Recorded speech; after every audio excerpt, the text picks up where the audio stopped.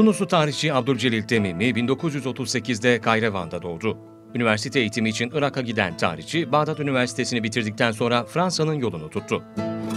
Fransa'da Osmanlı tarihçisi ve Türkolog Robert Mantran'la tanıştı.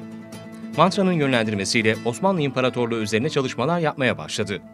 1972'de Osmanlı döneminde Cezayir Eyaleti adlı doktora tezini tamamlayan Temimi, bu süreçte Türkiye'ye geldi ve Türkçe öğrendi.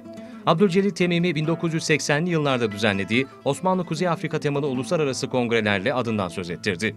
1990'da halen yayınlanmaya devam eden Osmanlı Araştırmaları dergisini çıkarmaya başladı.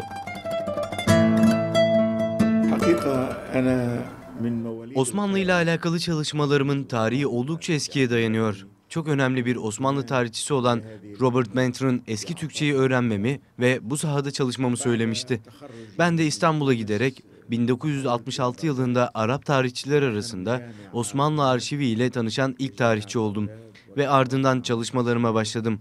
Bu dönemde bilmediğim hazine değerinde bilgiler öğrendim. Doktoramda da Osmanlı döneminde Cezayir eyaleti konusunu çalıştım. Ayrıca Halil Sahillioğlu, Halil İnalcık gibi önemli Türk tarihçilerle bir arada bulundum. Bu kişiler bana çalışma disiplini ve doğruluğu konusunda çok şey öğretti. وانتقلت إلى أكبر متخصص ودعوا 80 شخص Tarihçi Abdülcelil Temimi üniversiteden emekli olduktan sonra kendi adıyla anılan araştırma merkezini kurdu. 1995'te İstanbul Üniversitesi'nden Fahri Doktora unvanı alan Temimi, Türk Tarih Kurumu tarafından onur üyesi sıfatıyla ödüllendirildi. معناها التاريخ Araştırma merkezinde yaptığım çalışmalarım sırasında emin oldum ki Arap dünyası Osmanlı hakkında çok az bilgiye sahip. Üstelik bildikleri de yanlış. Bunu düzeltmek için çalışıyorum ve yayınladığım eserlerle bu konudaki eksiklikleri gidermeye gayret ediyorum. Bugüne kadar 34 uluslararası kongre düzenledim. Osmanlı'yı daha doğru tanımak amacıyla cemiyetimizin yayımladığı yüzlerce çalışma bulunuyor. Sadece Osmanlı'da değil, Osmanlı sonrası Cumhuriyet dönemi hakkında da çalışmalarım da var. Kemalizm konusunda yazdığım eserler alanındaki ilk kitaplar durumunda.